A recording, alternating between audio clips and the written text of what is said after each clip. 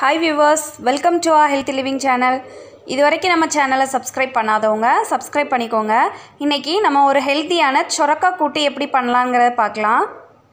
இதுக்கு தேவையான பொருட்கள் சொரக்கா சின்னது ஒன்று சின்ன வெங்காயம் பத்து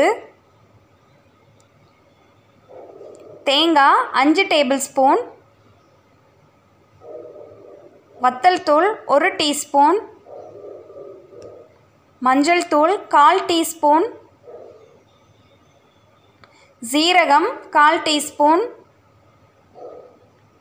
கடுகு அரை டீஸ்பூன். எண்ணெய் ஒரு டேபிள் ஸ்பூன். உப்பு தேவையான அளவு. கருவேப்பிலை தேவையான அளவு.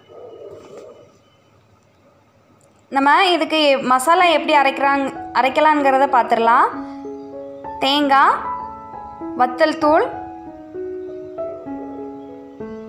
மஞ்சள் தூள் சீரகம் கொஞ்சமாக கருவேப்பிலை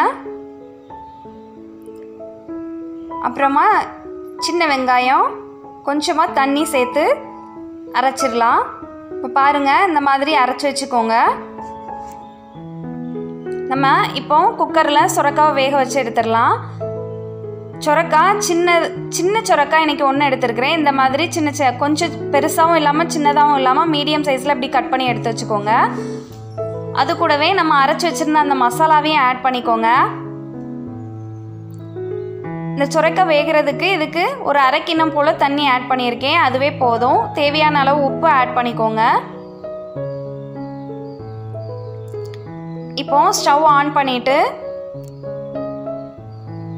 குக்கர் அடுப்பில் வச்சிடலாம் அடுப்பில் வச்சுட்டு கொஞ்சம் மிக்ஸ் பண்ணி விட்ருங்க எல்லாத்தையும். இந்த மாதிரி மிக்ஸ் பண்ணி விட்ருங்க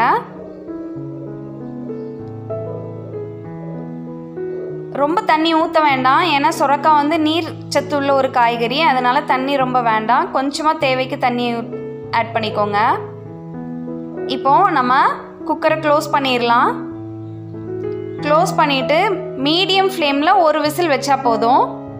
சுரக்காய் வந்து சீக்கிரமாக குக் ஆகிடும் அதனால் மீடியம் ஃப்ளேமில் ஒரு விசில் வச்சா போதும்.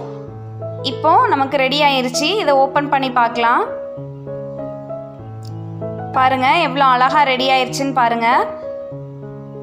சுரக்காய் வந்து ரொம்ப நல்லது உடம்புக்கு. எல்லாருமே தாராளமாக சாப்பிட்லாம். ரொம்ப ஹெல்த்தியான ஒரு ஃபுட்டு இப்போ நம்ம இதுக்கு தாளித்து ஊற்றிடலாம் குழம்புக்கு.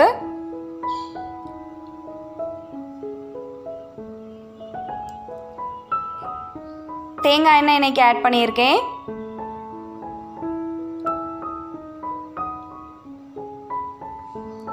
இந்த கூட்டு செய்கிறது ரொம்ப ஈஸிங்க எண்ணெய் ஹீட் ஆனதும் கடுகு ஆட் பண்ணிக்கோங்க.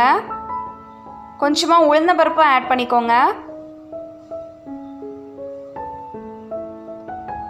கொஞ்சமாக வெங்காயத்தை இந்த மாதிரி சின்னதாக கட் பண்ணி வச்சுட்டு அதையும் சேர்த்து ஆட் பண்ணிக்கோங்க.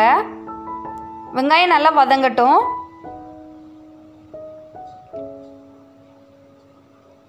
பாருங்கள் வெங்காயம் இந்த மாதிரி நல்லா ப்ரௌன் கலராக ஆகிற வரைக்கும் வதக்கிக்கோங்க. ஸ்டவ் ஆஃப் பண்ணிவிட்டு கருவேப்பிலை ஆட் பண்ணிக்கோங்க. இப்போது நம்ம இதை குழம்புல ஆட் பண்ணிடலாம்